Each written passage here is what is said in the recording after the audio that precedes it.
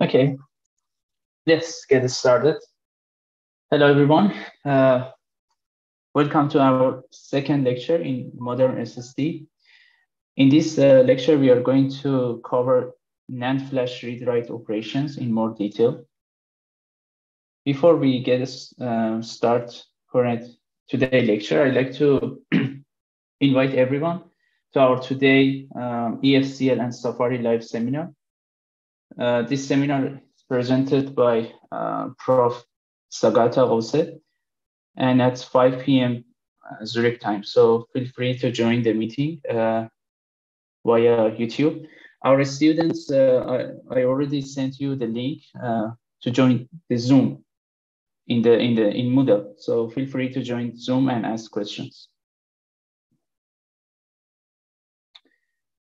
So uh, in the in the previous meeting, we talked about SSD components and also the organization of SSD. That basically in each SSD we have uh, several um, flash chips or flash packages, and in each uh, flash chip we have a few uh, dies, and in each die we have a few planes, and each plane consists of uh, many blocks, and each block has many pages.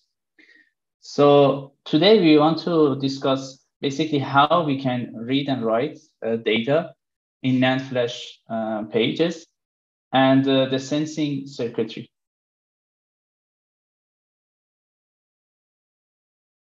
So as a kind of a reminder, so we we yeah we explained in the previous meeting that basically a flash cell is a transistor which has a gate, source, and drain with the one difference that uh, there is a special material, which we call it floating gate for 2D flashes and charge trap for 3D flash cells. So this floating gate has uh, is capable to basically store or trap uh, electrons. So basically, when you want to program flash cells, you need to apply a high voltage, which is a program uh, voltage. Typically, it is kind of a 20 volt. And then, uh, then you have a tunneling effect so electrons from the substrate, they uh, go through this floating gate. And as a consequence, as a result, the threshold voltage of this transistor becomes higher. So basically you need to apply higher voltage to turn on this transistor. So in order to distinguish between raised and programmed state of the flash cells, we need to apply a reference voltage which is uh, something between uh, nominal threshold voltage and uh, program threshold voltage, which is higher. So if by applying a reference voltage, your transistor becomes on, it means that uh, your uh, basically your flash cell is not programmed. And if it is not uh, on, it means that your flash cell is already programmed, which we typically consider erase as one and program as zero. Any question for this part? Okay. And when you want to basically erase the flash cell again, you need to apply a reverse voltage, like uh, minus, uh, 20 volt, so that you can move the electrons that they are in uh, floating gate to the substrate.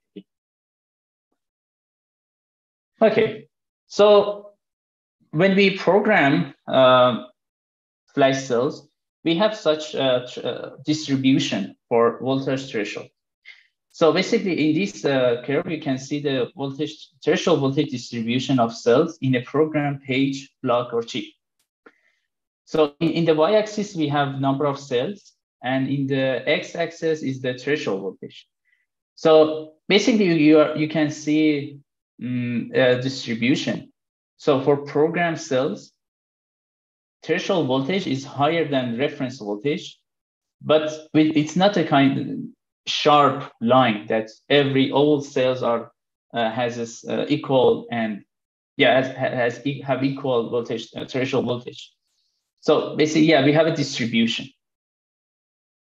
In other words, basically you can uh, inter yeah you can interpret this uh, curve as that in each point we have we can have kind of y number of cells that they have x threshold voltage. So why we have a distribution? This is because of the variation across the cells. Basically, when we are uh, fabricating uh, flash any actually uh, logic and flash chips are not also different.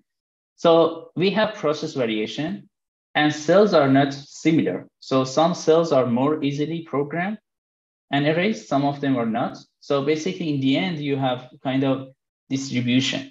So then you have you should have a kind of you know margins so that you can uh, basically dif uh, differentiate between uh, arrays and program states.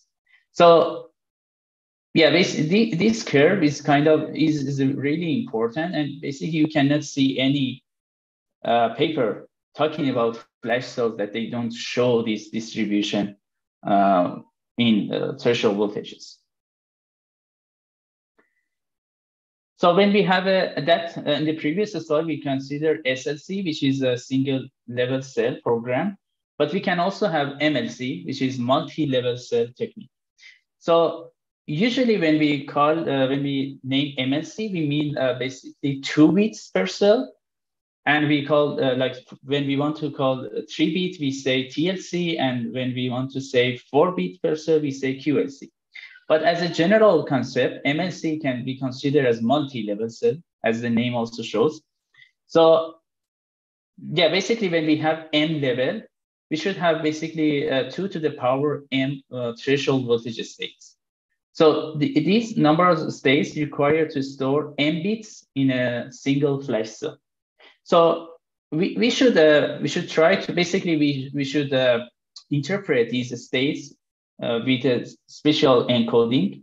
This encoding could be different. It's not a, something uh, written on a stone. So for example, here, uh, the before reference voltage uh, zero, we consider it as a one, one, one. And between reference zero and reference one is one, one, zero, and so on and so forth.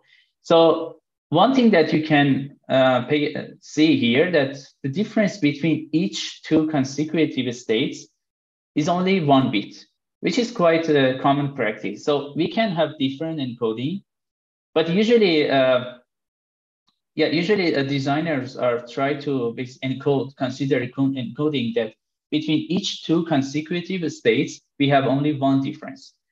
So can you imagine why it is important? Any thoughts?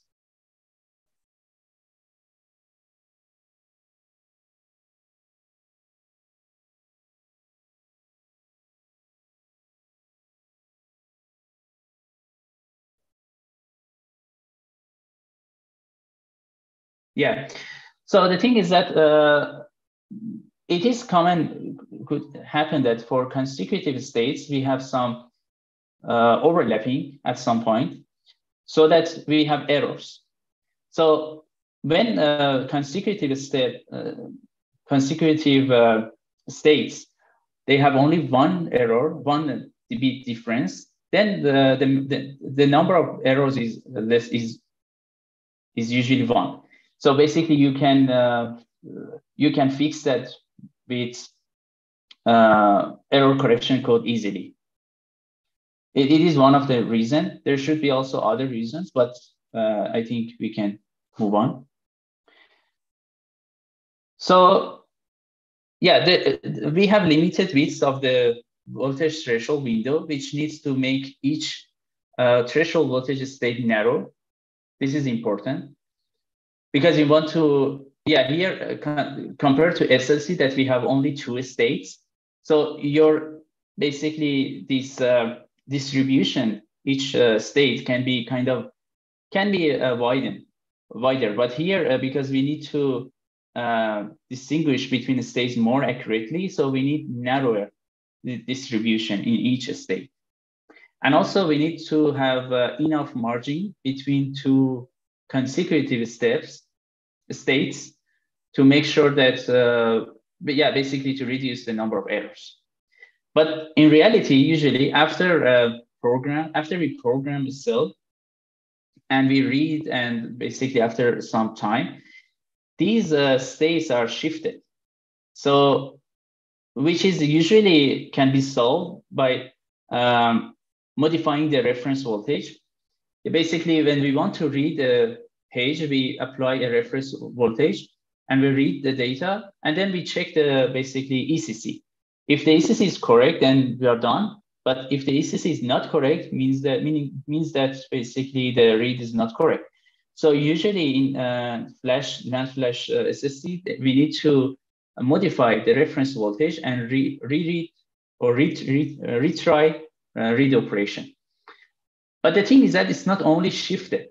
So usually after uh, some reads and after some time, these states become widened. So, and at some point, you can see that we have errors. Uh, some, some of these uh, margins, they can overlap and you, you will have errors. And no matter actually how, much you uh, change the reference voltage, basically if they are widened and uh, you have overlap between states, you may have errors. And in order to solve that, basically you need to raise uh, the, the, the, the page and uh, which, which happen actually in the block granularity and rewrite your data in, in somewhere else.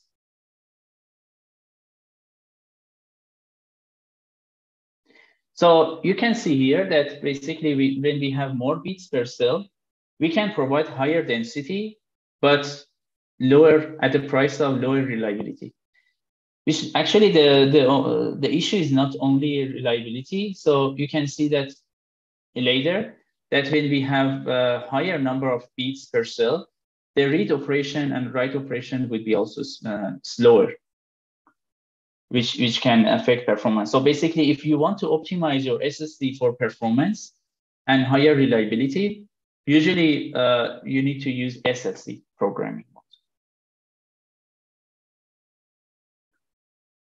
Any question?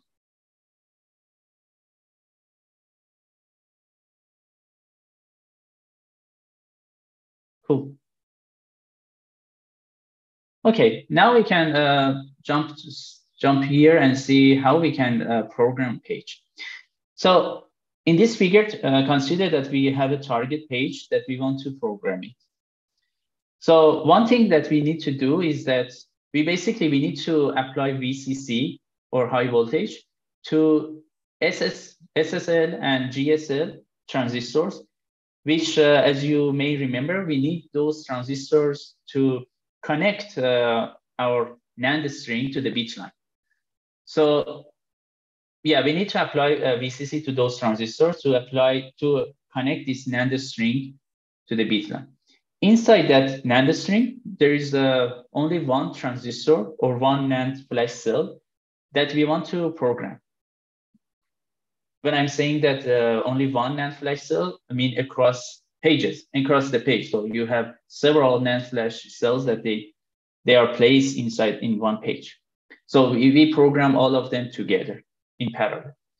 So we need to apply v, VPass, which is uh, quite large or high, which is high enough, let's say, to uh, make transistor on no matter if it is programmed or it is raised.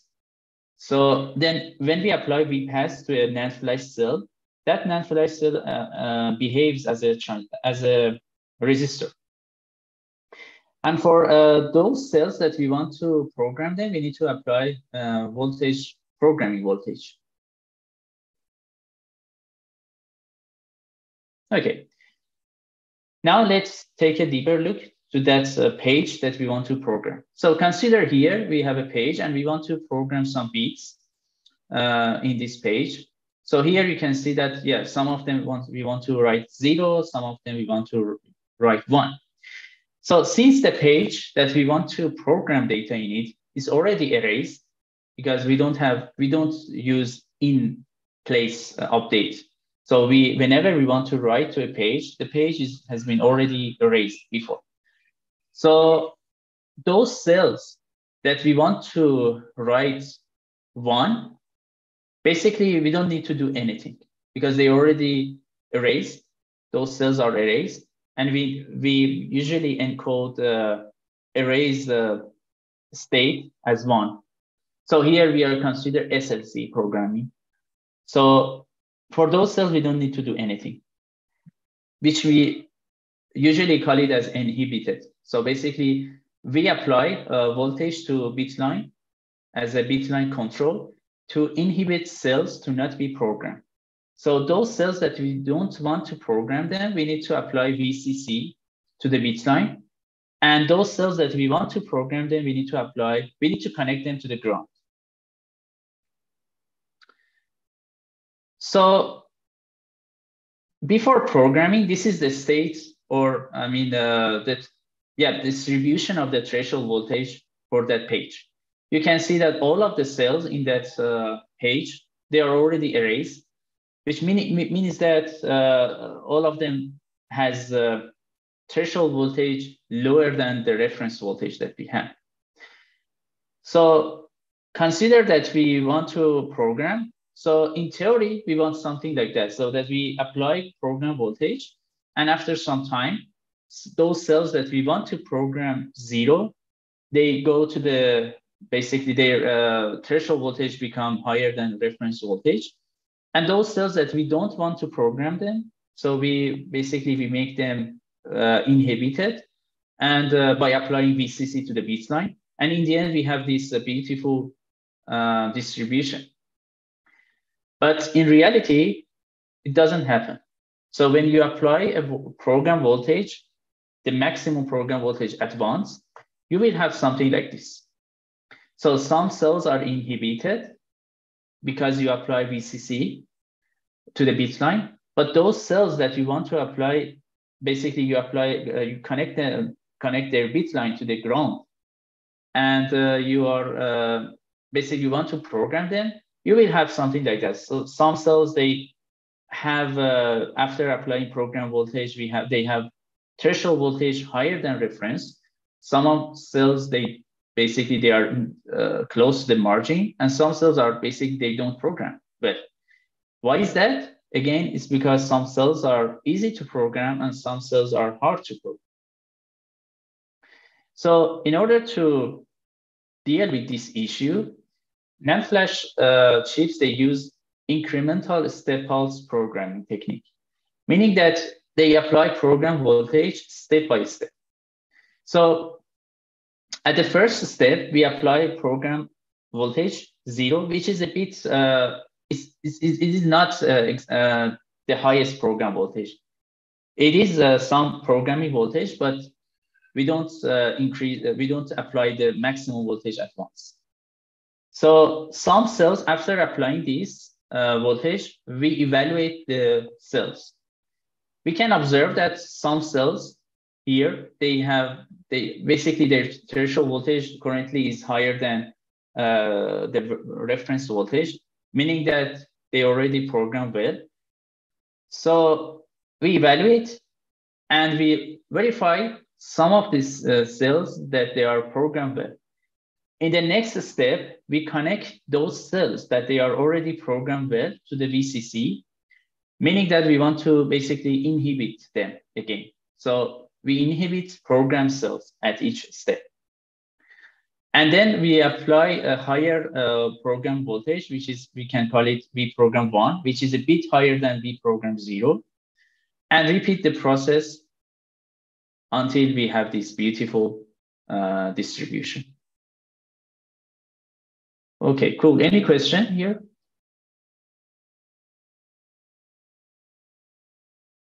Or from a live audience in YouTube? Uh, one quick question. Uh, VCC sure. in this case is higher than the highest programming voltage, or how large would that be? No, no, no. Uh, VCC is usually uh, lower than that.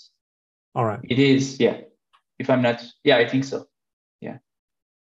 Rakesh, do you have uh, any idea? I think VCC is lower than program voltage, right? Uh, yes, uh, yes, no. Yeah, okay.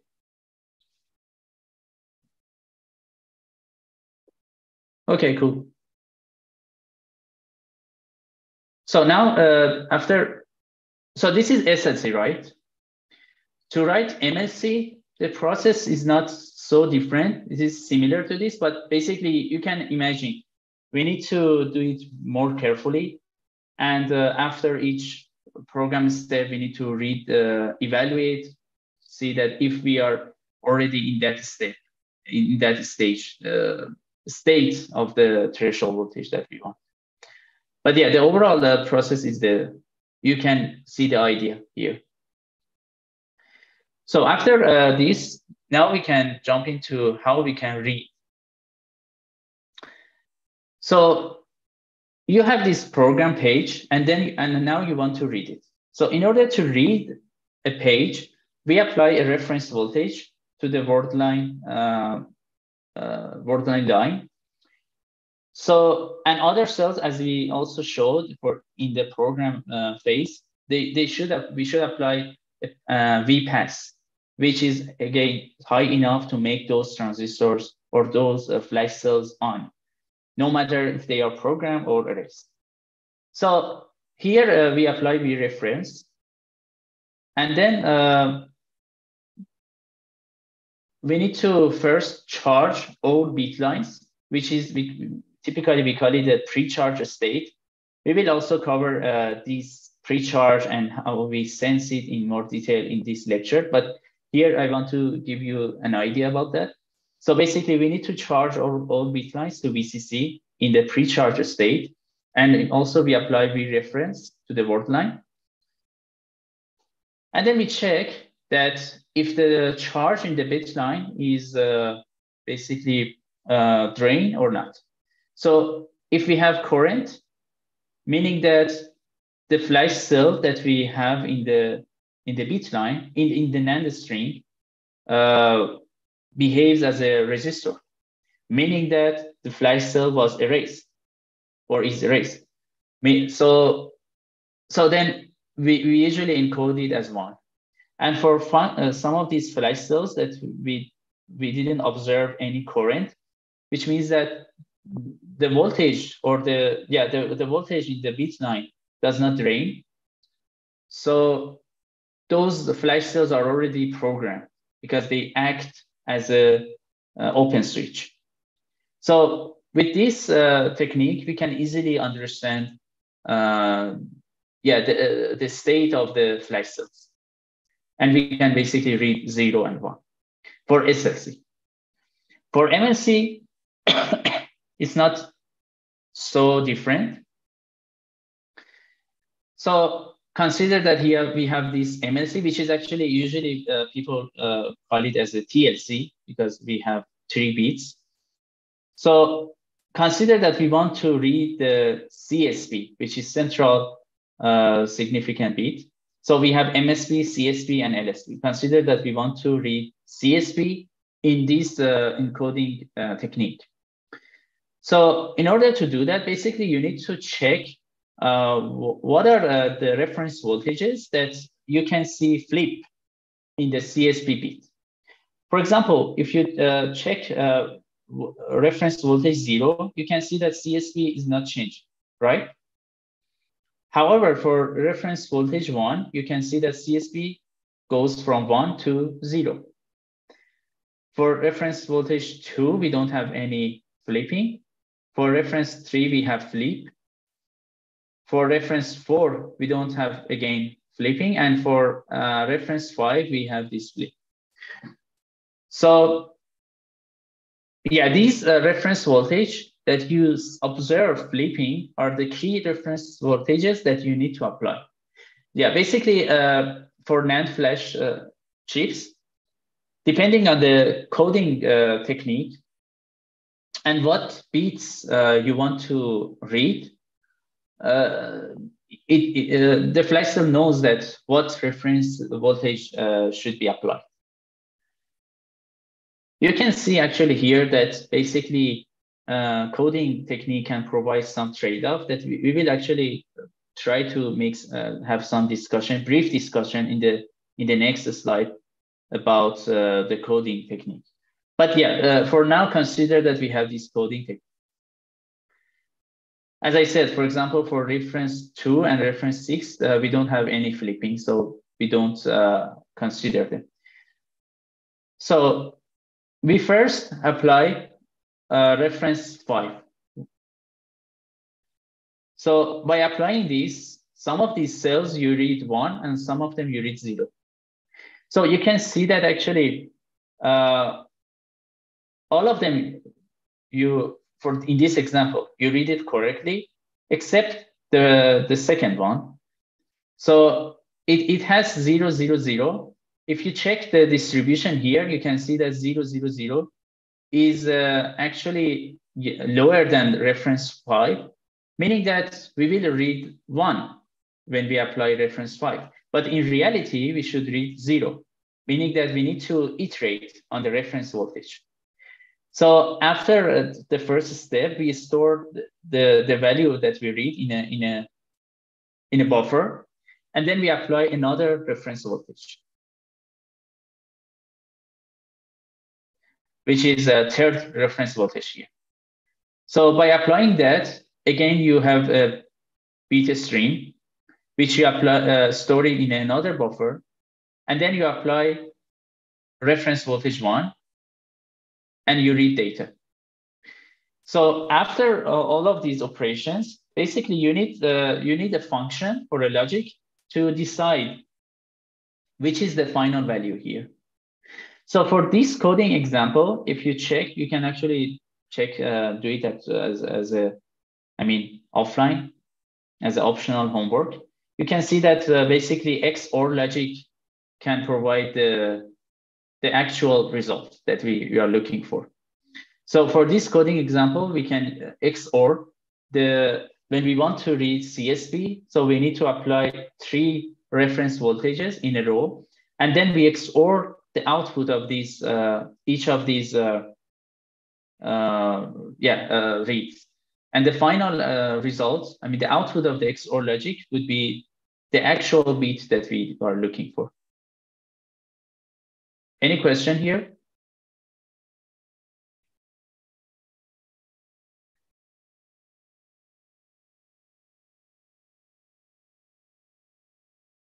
Okay, cool. So some uh, important takeaways. So bit encoding, as we observed in the previous slides, affect the read latency. So here, we, when we want to read CSB, we need to apply three reference voltages, meaning that we need to do three sensing. So here as an example, I provide uh, two encoding, bit encoding uh, example. The, the first one, I mean, the, the top one is the is actually the bit encoding that we we have seen in the previous slides. But in the bottom, we have another bit encoding which actually we don't have. Again, we have only uh, one difference between consecutive steps, but uh, states, but uh, it's not, uh, yeah, but it's different. So consider that you want to read LSB. So in, in, the, in the top uh, bit encoding, you have uh, two states that you can observe that uh, basically we have flipping in LSB. So in order to read LSB, we need to apply reference voltage zero and reference voltage four. Basically, we can read LSB by two sensing. But in the bottom sensing, uh, I mean bit encoding, we can see that we have four states that we have uh, flipping in LSB. So we need to apply four sensing uh, reference zero, reference two, reference four, and reference six. So I now I have a question here from you guys. So do you think uh, the top bit encoding is kind of superior to the bottom, or there is a trade-off?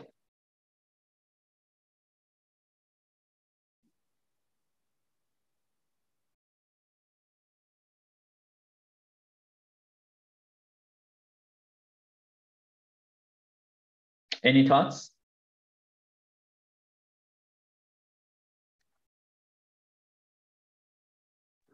I mean, the top one is probably just uh, better for like, uh, or worse for other bits. Uh, like for the LSB, we now only need uh, two reference voltages, but for uh, the CSB, for example, we would need more. Yeah, but uh, for CSB, how many sensing we need for the for the button bit encoding?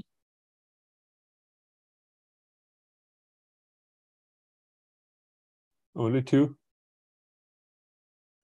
Only two. Right, true.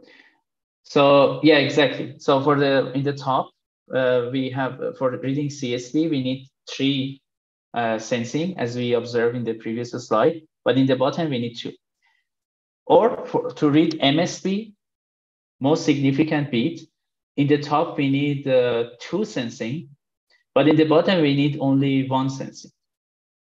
So basically, you can see now here that uh, there should be difference between bit encoding, and there is a trade-off uh, between basically uh, the number of sensing, and, and and actually this can also provide some uh, variations in the latency of the pages that you are looking for. Recall that in the previous lecture we mentioned that basically when when we using TLC, for example, so basically you can store three pages in one word line. So these three pages can be accessed with different latencies. So if we if we use, for example, the uh, bottom bit encoding, we can uh, since MSB pages is uh, quite fast, since we can access MSB with only one sensing, we can consider that as a cache or or those pages that we want to access more quick, I mean, faster, uh, since they are more critical, for example. So we can think of basically a trade-off in the variation in latency variations of accessing these pages. Those pages that they are not latency critical, we can put them in LSB in the bottom uh, bit encoding because LSB is quite uh, uh, slow in the bottom encoding. It, it needs uh, four sensing but those pages that they are latency critical, we can write them in MSB. So you can see basically it, it gives you some uh, control or management on the on page on pages, how where you place them in LSB, CSB, and MSB, which actually in research is quite uh, an important, interesting uh, research topics in uh, SSD. Does it make sense? So we intentionally try to have a difference and not try to uh, uh, arrange it in a way where it's as uh, evenly distributed as possible. Yeah, that that actually depends on your uh, on the, on the. First of all, it depends on the vendor. So some vendors uh, or manufacturer they use uh, specific bit encoding, like with different reasons. Some of them they may want to balance the read, read latency but some of them, I mean, as I said, for example, they want to have this uh, uh, variation in latencies so that it provides some, I mean, uh, benefits and how we can manage uh, more intelligent uh, the SSD. So in the end, uh, my answer is that it depends on what is your intention. Make sense? Yeah.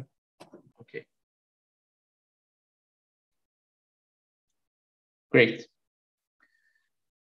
So yeah, so now let's uh, take a brief look at the sensing circuitry. When we want to uh, read from a NAND flash, basically we have three steps, pre-charge, evaluation, and discharge. So here uh, in this figure, I show a NAND string and the bit line and some latching circuitry. So we will uh, see the circuit in uh, latch circuit in, in later slides. But here, uh, let's have a, I mean, kind of overview on this circuit. So basically, uh, each bit, bit line is connected to the pre-charge voltage uh, with a transistor, which we call it M pre. So in the pre-charge state, we first uh, we activate transistor uh, M pre to yeah, to to low uh, to drive uh, the bit line to the pre-charge voltage. Basically, you can also consider as a VCC. So after doing that, bit line, your bit line is now uh, charged. And also uh, there is a uh, capacitor, which we call it sense out capacitor. This is also has been charged to pre-charge voltage. So after pre-charge state, we go to the evaluation step, which we want to basically the, the goal is to evaluate if the if your flash um, cell is already um, stored, it is already programmed or erased, basically. Those flash cells that you're uh, you aim to read them. So you apply a reference voltage and you disconnect uh, the basically you turn off the pre-charge transistor. Then basically your bit line is not connected to the pre-charge voltage anymore. So, and then you can basically check that if the charge of that transistor, of that capacitor, uh, sense out uh, capacitor is drained or not. So if the threshold voltage is lower than reference voltage, meaning that, uh, yeah, meaning that your transistor, your flash cell is not programmed. So it, it acts as a uh, resistor and the charge flows uh, quickly flows through the NAND string, which we sense it as one based on our contract. And uh, if the if threshold voltage is higher than reference voltage, the target cell blocks the bit line discharge, as you can see here, and we sense it as zero. The latch circuit should be also on in the evaluation circuit, in the evaluation phase, which we will see how we design the latch circuit. And after evaluation, we need to do discharge, basically that we discharge the bit line so that we can uh, use the bit line for future uh, reads.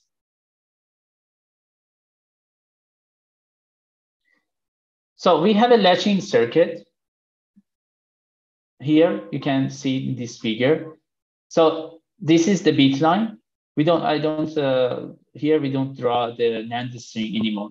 So we have, we have bit line and pre-charge transistor, voltage pre-charge, sense out capacitor here, and a sensing circuit. Uh, sorry, latching circuit. So before the evaluation step, the chip, uh, I mean flash chip, initializes the latching circuit. So to initialize the latching circuit, we need to activate transistor M1. So this transistor becomes on. So since we are pre we are pre-charging, the voltage of sense out becomes one. And since it is on, uh, this transistor here is turned on, which connects the latch circuit to the, to the ground. And since we also activate M1, you can see that here the output, I mean output bar uh, is connected to the ground.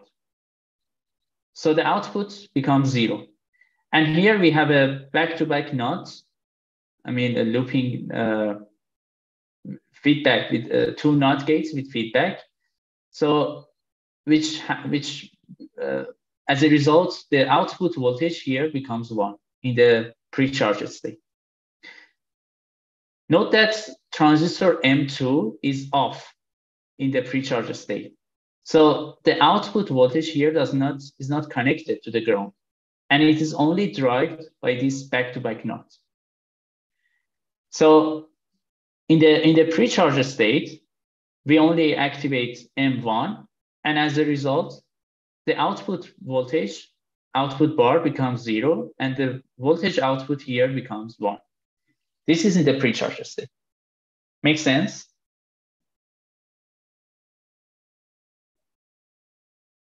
Okay. So in the evaluation step, we basically uh, disables uh, pre-charge transistor because we want to evaluate. And also we disable M1 and while enabling M2. So basically when we want to evaluate what is stored in the NAND flash cell, we need to disable pre-charge transistor, which is uh, obvious. We need to also disable M1 transistor, which we actually yeah activated before in the pre-charge state. And uh, we need to enable M2. So then we will have two different steps. So if the voltage threshold of that uh, NAND cell that you want to read is lower than reference voltage, basically your NAND flash, as we know, will behave as a resistor and your charge here drains or flows quickly. So the voltage in sense out capacitor becomes zero, meaning that this transistor that we have here is off. So since it is off, there is no connection between the output voltage here to the ground. So although we already turn on M2 transistor here, but since this transistor is off, there is no connection to the ground and this output voltage store or keeps its charge, which is one. So you can see how we read one here. And in the second, I mean, case, if the threshold voltage is higher than reference voltage, uh, basically your charge does not drain. And this sense out is still one, so that this transistor is on. And since we also turn on this transistor, the output voltage here flows quickly to the ground and it becomes zero. So basically, when your threshold voltage is higher than reference voltage, you read zero. So this is how we sense what is actually stored in the NAND flash cell. Make sense? Any question?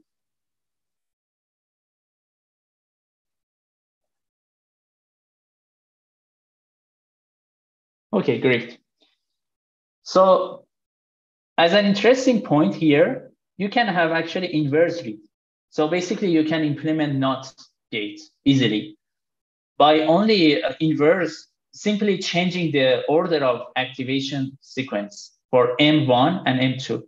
So in normal read, we first activate M1 in the pre-charge state, and in the evaluation step, we need to deactivate M1 and activate M2. But if you do it in a different way, so basically you first uh, activate M2, and in the evaluation step, you disable M2 and activate M1. So then you will have this reverse sensing, which uh, I guess you can imagine. So by this, basically you can uh, implement easily NOT gates. So if you want to, for example, read the inverse of the page that you are looking for, you, the only thing you need to do is that you apply inverse sensing. Make sense?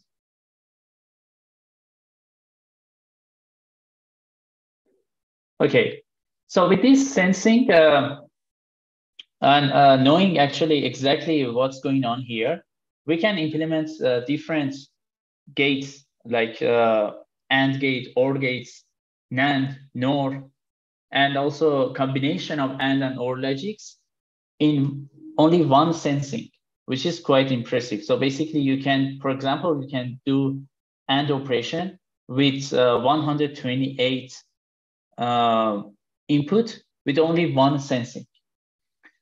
So in this paper, Flash Cosmos, we basically, the title is In Flash Bulk Bitwise Operations using Inherent Computation Capability of NAND Flash Memory.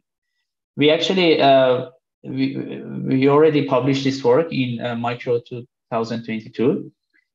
So yeah, the, the key idea of this work is uh, multi-word line sensing that we can activate several word lines together to implement uh, and and or operations.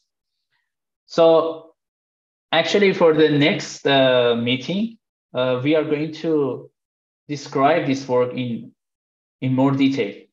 So this is our uh, plan for the next uh, week that we will go over this Flash Cosmos in more detail because the conference talk that uh, we had for this work was only 10 minutes. So we are going to uh, present this work in more detail and basically answer many questions. So uh, I would recommend everyone uh, to attend next week meeting to know basically uh, in detail uh, this work.